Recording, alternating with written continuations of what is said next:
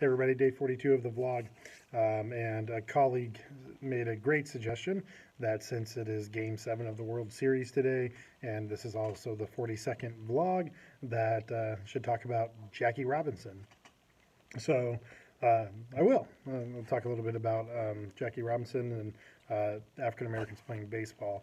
So Jackie Robinson does get credit a lot of the times for being the first black player in the Major League Baseball or in professional baseball um, but he actually wasn't. You have to get, dig deep, uh, and it's really only recently that people have started to um, realize, uh, like these players that played back in the 1800s. Um, so, the, officially, the first um, professional baseball player uh, is Moses Fleetwood Walker. So Moses Fleetwood Walker uh, played for one year in, I believe it was 1899, um, and then kind of because there was such a large gap, his I think his younger brother actually also played um, the, on the same team on the same year, and then there was a third uh, black player that played um, in a couple years after that, and people are just now realizing that he was black. Like nobody knew um, there had to be some additional research because people knew his name, but they didn't realize that he was black. Um, so there were actually th- at least three um, black professional baseball players before Jackie Robinson, but it was all the way back in the 1800s. So 63 years basically before Jackie Robinson uh, de- or desegregated uh, professional baseball um, you have these players, and I and I think uh, you know that speaks to the erasure of Black history in our country.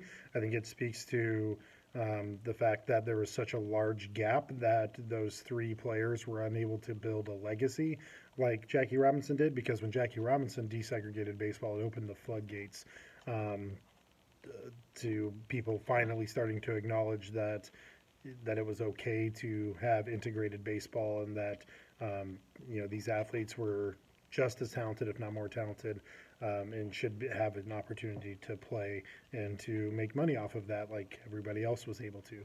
So, I, think you know Jackie Robinson uh, well deserved um, to get the recognition that he does. To have every single team have retired the number 42 is a small token to be able to be grateful for what he experienced. But these also the, these other three men that were in it had the same level of discrimination. Um, I was reading about uh, Moses, and he had to sleep on benches, and when he would play games in the South because no hotel would rent room uh, to a black person, uh, and so he would have to sleep on a park bench before a game.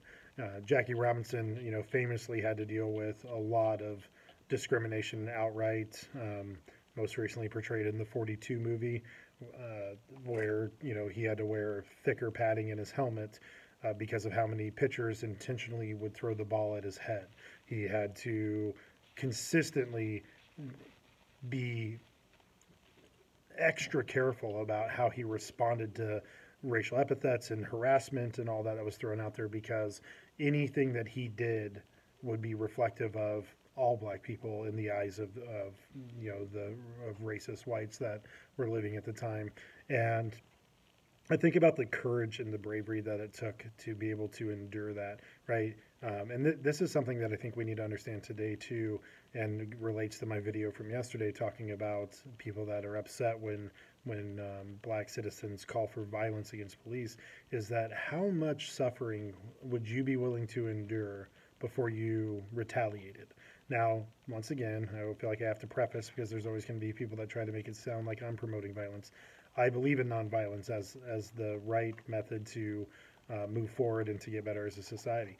But I also am a realist, and I understand that it wouldn't take much for me to abandon nonviolence if my children were facing the type of things that Jackie Robinson uh, was facing, or that other people that have had to fight for their rights were. Um, and so, tr- try to try to empathize with that. Try to understand like how how much how much would you be berated um, how much could you take of that before you would want to strike back or would strike back? Um, because it's not until it really starts impacting you that you you see the level of injustice it is to have to endure dehumanizing attacks and yet still remain peaceful and a model of upstanding behavior. Um, it's just it's not right, and you can't ask people to continue to do that forever.